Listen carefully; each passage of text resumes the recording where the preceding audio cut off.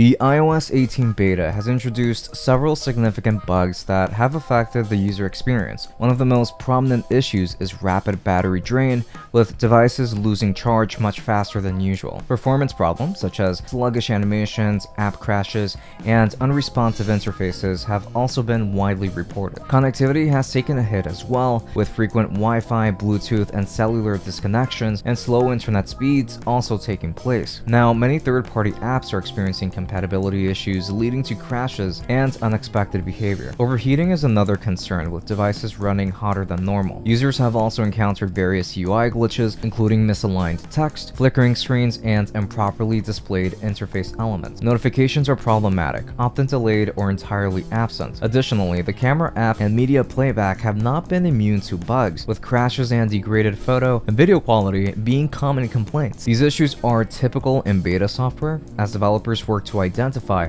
and resolve problems before the final release. Welcome back everyone to the Wondershare Dr. Fone channel. My name is Francisco, and today we will be talking about some of the bugs that have been introduced with iOS 18 beta, and a potential solution by the end that could help with getting you out of a tough spot if you happen to get stuck due to a bug on your device. With that said, let's go ahead and dive right in.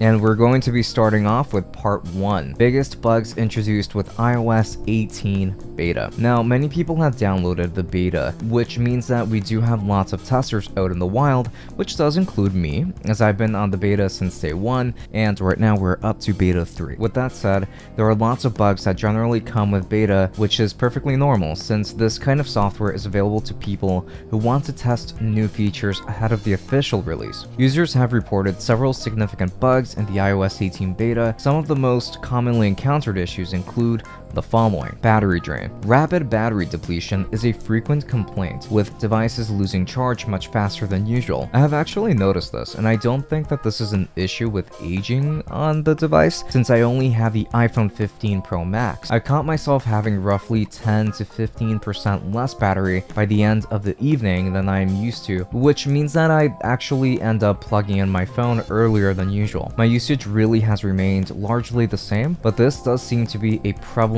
issue with some of us who downloaded this beta. Performance issues. Sluggish performance, including laggy animations, app crashes, and unresponsive interfaces has been noted. I've also come across this problem myself, and while it isn't that persistent on my device, it has still come up. Sometimes apps stutter before opening, and that even includes Apple-specific apps, which is a little puzzling, but it does happen with beta software still. Connectivity problems. Issues with Wi-Fi, Bluetooth, and cellular connectivity are common, including frequent disconnections and slow internet speeds. This also has come up for me at very random times when I'm using my device like normal, but load times on sites and YouTube for example become much longer than I am used to. Granted, this video is being filmed in early July here in New York, so it could also just have to do with the fact that it is very hot outside, and that could be affecting service in my area, but I'm not too sure about that. I think it is tied to the beta ultimately. App compatibility. Many third-party apps may not work correctly, leading to crashes, freezes, or unexpected behavior. This is a big one because I've used apps like the Amazon app,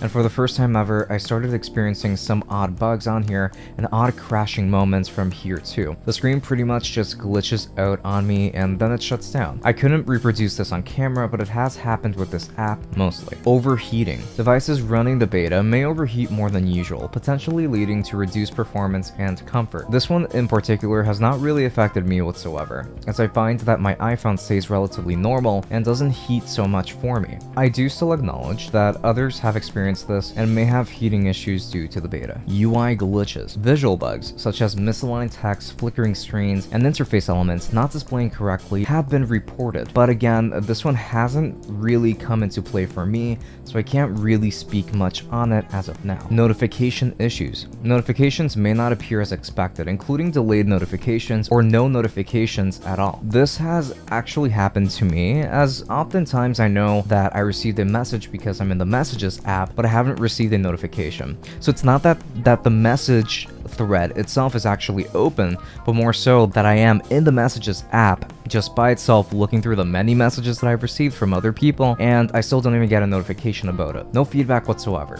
Not even a vibration, ringing, or visual notification appears on screen, sometimes for me. Camera and media bugs. Problems with the camera app such as crashes and poor photo slash video quality, along with issues playing media files are common. This one hasn't really targeted me, but it does come up for other testers. These bugs are typical in beta software as developers work to identify and fix issues before the final release. However, the iOS 18 beta has introduced several severe bugs that have significantly impacted users. System crashes have become frequent and unpredictable, rendering devices unusable until restarted. Some users have experienced unexpected data loss, and in some extreme cases, their devices have become completely unresponsive or bricked as we are so used to calling it nowadays. There have been reports of severe battery drain, with devices losing substantial charge within minutes. Critical connectivity issues have also surfaced, affecting Wi-Fi, Bluetooth, and cellular networks, sometimes making it impossible to connect. Additionally, there are concerns about new security vulnerabilities, corruption of essential system apps, and failures in biometric authentication methods like Face ID and Touch ID if you're using an older device, all of which have heightened the risks associated with using this beta version. And issues like these are the ones that we seek to try to help you fix with this next step. Part 2 how to potentially fix issues caused by the beta. Wondershare Dr. Fone offers a comprehensive suite of tools for managing and maintaining mobile devices, making it an invaluable resource for users.